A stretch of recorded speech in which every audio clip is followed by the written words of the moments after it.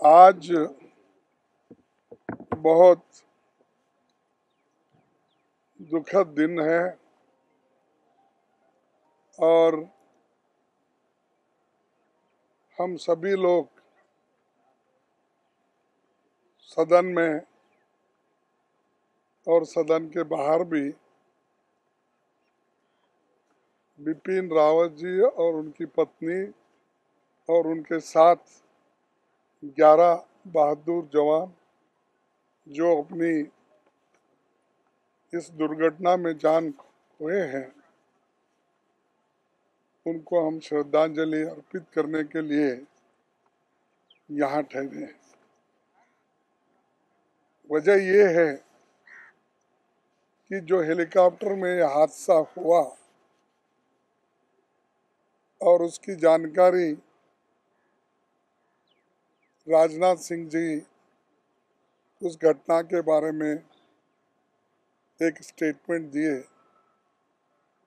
उस वक्त हम सभी अपोजिशन लीडर की ये मांग रही और चेयरमैन साहब से भी हमने कहा जो डिप्टी चेयरमैन साहब डिसाइड कर रहे थे कि हमसे, हमने उनसे विनंती की कि सरकार के ओर से तो स्टेटमेंट और श्रद्धांजलि हुई।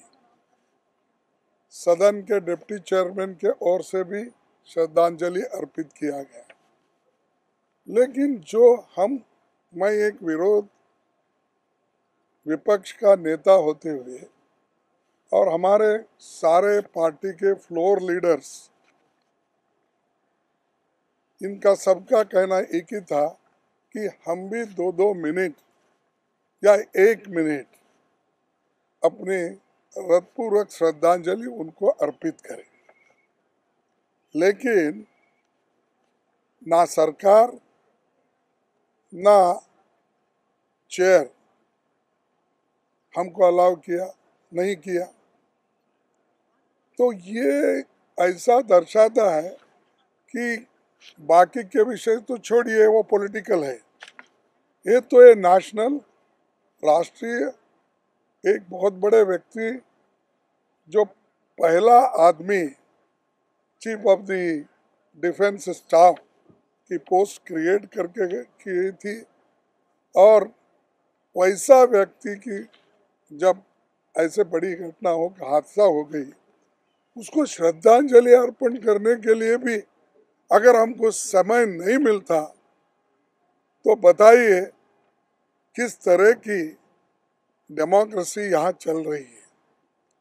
किस तरीके से ये सदन चलाया जा रहा है? और सरकार इसको प्रोत्साहित कर रही है ऐसा चीज़ों को? तो ऐसी जो श्रद्धांजलि अर्पित करने के लिए भी हमको जो समय नहीं दे नहीं दे रहे, इस घटना का हम निंदा करते हैं। इसीलिए तो आज हमने ये भी तय किया था।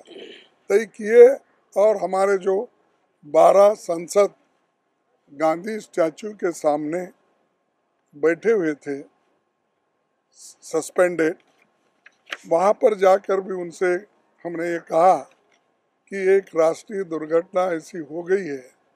इसीलिए आज के दिन हम ये जो धरना है, उस धरने को सस्पेंड करेंगे और एक दिन के लिए वापस लेंगे। हमने वहाँ भी कहा था।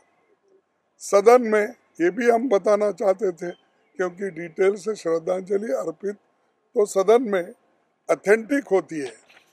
तो ये हमारा दुर्दैव है कि श्रद्धांजलि अर्पण करने के लिए भी सरकार की परमिशन होना चेयर भी परमिशन देना ये बड़ा दुर्भाग्य की बात है, इसकी निंदा हम करते हैं।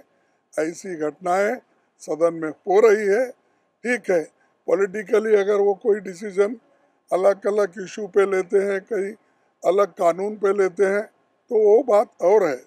लेकिन एक जो व्यक्ति अपनी जान दिया, जो पूरी उनकी फैमिली गई, ग्यारह जवान गए, लेकिन उनको श्रद्धांजलि अर्पित करने का हमको मौका नहीं मिला। इसीलिए हमको बहुत दुख हुआ और हम इसी के साथ कहेंगे कि सरकार को सद्बुद्धि दे और जिस फैमिली को इतना बड़ा हादसा हुआ, जिस फैमिली का, उन फैमिली के सभी मेंबर्स को एक दुख सहने का शक्ति मिले, ऐसी मैं आशा करता हूँ और मेरे बाप से श्रद्धांजलि अर्पित करके मेरे बाप को समाप्त करता हूँ। हाँ सॉरी एक मिनट और जो घायल है, एक एक व्यक्ति, उनकी वरुण जी वरुण जी, उनकी स्पीडी रिकवरी के लिए हम चाहते हैं, हम प्रार्थना करते हैं कि उनकी जल्द से जल्द वो उनका स्वास्थ्य ठीक हो। और मज़बूत बन के वो बाहर आए।